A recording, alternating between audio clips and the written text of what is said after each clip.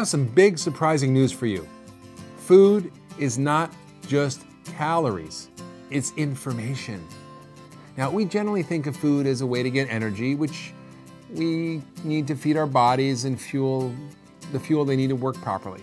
But new science has shown that food literally talks to our genes. It contains information that your body receives from the foods you eat and it turns on or off genes. This gives your body instructions on how to control your metabolism from moment to moment and, and day to day. And every time you take a bite of food, you're talking to your genes. This is the science of nutrigenomics, or how food communicates with your genes. And it's the nutritional approach that is the basis of everything I do, including my books and the blood sugar solution. In fact, Dr. Dean Ornish showed that after just three months on an intensive lifestyle program, including a whole foods, plant based diet, that over 500 genes that regulate cancer were beneficially affected, either turning off the cancer causing genes or turning on the cancer protecting genes.